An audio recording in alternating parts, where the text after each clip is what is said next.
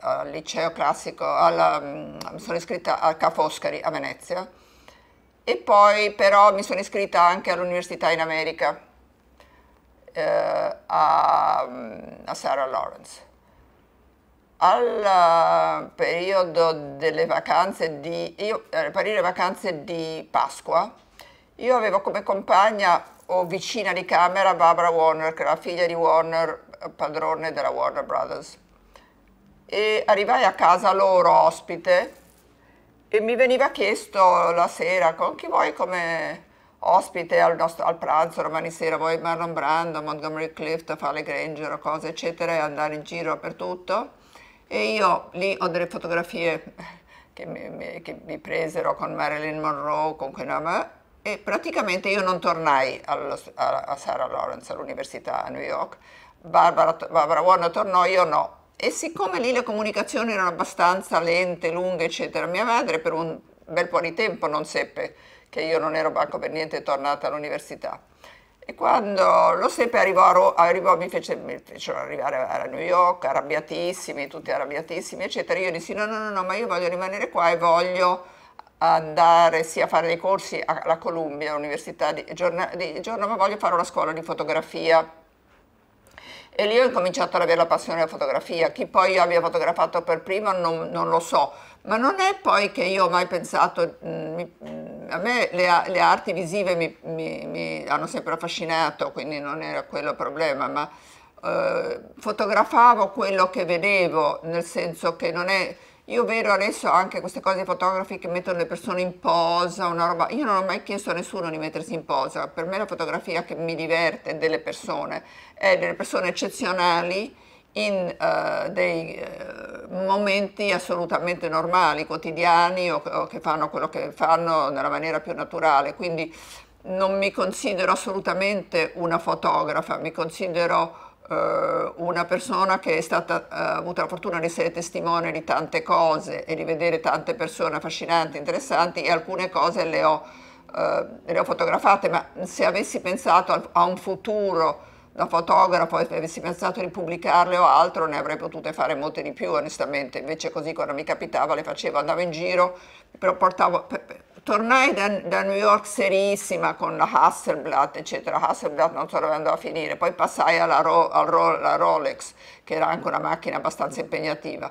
Eh, poi invece andai in giro per anni con una like al collo e quando mi capitava prendevo le fotografie, ma non ho mai avuto né l'ambizione né il uh, cosa di fare, di fare fotografo. Onestamente io ho sempre voluto fare cinema, non fare, fare, fotografo, insomma. Poi, passato un certo periodo di tempo, queste fotografie storicamente hanno preso un loro peso eh, anche abbastanza importante e alcune sono anche abbastanza belle, ma insomma non è, non è il mio mestiere. E, ma l'occhio l'ho sempre avuto e mi, e, mi, e mi, piace, mi è piaciuto. Certo, in Libia era difficile se andavamo, quando andavamo in giro a Leptis Magna, eccetera, mi piaceva molto fotografare le persone davanti, cosa, per esempio, non so, la fotografia di Cecil Beaton, che ha gli stessi occhi della Medusa, mi piace tantissimo, mi diverte moltissimo, hai capito? Ma insomma, sono sempre de, quello che gli, americi, gli, americani chiamano dei snapshots, insomma, non, non delle fotografie serie. Ma d'altra parte però anche alcuni grandi fotografi, vabbè, a casa, poi lui ti faceva posare, eccetera, ma anche se Silvita non andava in giro poi per Reptismania con una macchinetta, insomma, non è...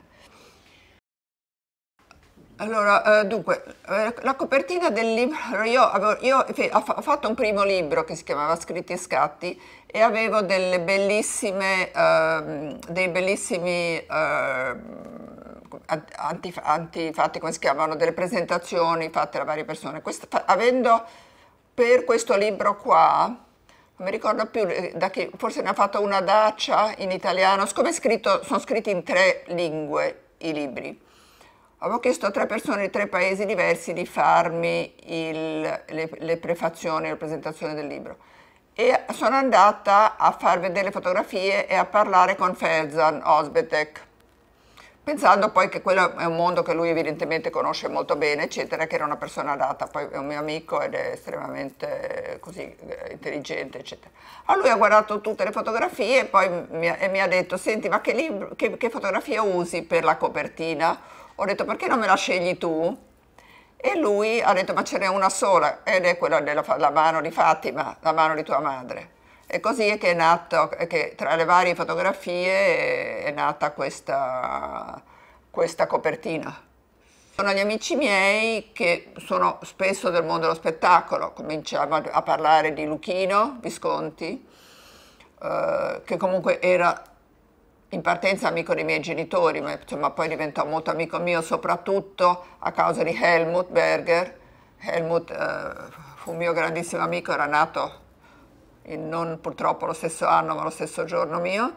E mm, arrivò a quell'epoca lì, vabbè, poi mm, mi pare l'ultimo anno venne anche Florinda Volcan, venne Jacqueline de Rib, venne be bellissima, straordinariamente simpatica, eccetera, con cui poi andai in Marocco, uh, Fiona Thyssen, e Jeanne Moreau, con cui avevo fatto un sacco di viaggi. Jeanne era una mia grandissima amica, personaggio straordinario. L'anno prima era venuta con me a Capri e un giorno mi dice, ma sai, io eh, eh, credo che andrò via tra un paio di giorni perché vado a prendere Liberté a Genova perché vado a New York in nave. A New York in nave, mezza l'estate. Dico, ma perché? Dico, perché sulla barca ho scoperto che c'è Pierre Cardin. E dico, allora che succede? Eh, uh, mi piace Pierre Cardin. Partì in barca per fare la conquista del povero Pierre Cardin che di donne non aveva mai visto una in vita sua e tornò praticamente sp quasi sposata con Pierre Cardin che mollò il suo amico disperato e, e, ed era, si era innamorato moltissimo della prima donna della sua vita che era Jeanne, cioè, eh, insomma Jeanne era un personaggio fantastico, era una donna fantastica, era estremamente eh, di, spiritosa, divertente, grandissimo talento. Lei un, una volta andò in televisione e le chiesero ma lei come mai parla così bene l'italiano? E lei rispose, eh ma io ho un'amica in Italia, si chiama Marina Cicogna. E poi eh, disse, io avevo appena avuto la copertina di Time, fra l'altro dipinta da uno dei più grandi eh, pittori messicani, una roba importantissima, cioè lei in quel momento lì era veramente una grande star. E disse, poi io vado in giro per il mondo, lavoro molto e tutti mi conoscono come ma arrivo in Italia e divento l'amica di Marina Cicogna. cioè aveva una maniera di non, di non, prendersi sul serio che è assolutamente unica per un'attrice di quella portata come era Jeanne. Ma sai, l'Italia in verità, io che poi ho vissuto abbastanza anche fuori dall'Italia, eccetera, a Roma, oggi non ne parliamo neanche, ma è sempre stato, sono sempre dei gruppi di gente chiusa, fra di loro, che si vedono sempre fra di loro. Se tu andavi a Parigi, a Parigi c'era un fritto misto enorme di persone, cioè tu andavi a un pranzo alla Maximi, che prendevano tutte Maximi, c'erano eh, da, da Balthus, il grande pittore, al grande attore, al grande regista, al grande scrittore, tutto mescolato con i, con i rocci, le cose, eccetera. Anche in America, in Inghilterra forse un pochino meno, anche in America però c'era un gran misto, bisognava seguendo quello che erano, quindi questo non è che sai, non, non, è legato all'epoca, è legato ai costumi di ogni paese un pochettino, e questo mia madre era poco italiana, insomma. Anche le piaceva molto frequentare persone, insomma, Nancy Mitford era sua più grande amica, ma era moltissimo amica anche di Alex Rothschild, di persone diverse, ma sempre persone di, grande, di un grande spessore culturale, anche se mia madre purtroppo eh, eh, quando c'era la Biennale, eccetera, tra i giovani pittori, eccetera, non ha mai comperato so, un quadro di Cy Twombly perché per lei la pittura si fermava all'impressionismo, qualche cosina tra i primissimi Picasso, però poi comprava dei fondi oro della, eh, non so, che venivano da, da Angkor in Cambogia, che se avesse comperato un disegnino di Twombly era sicuramente più interessante.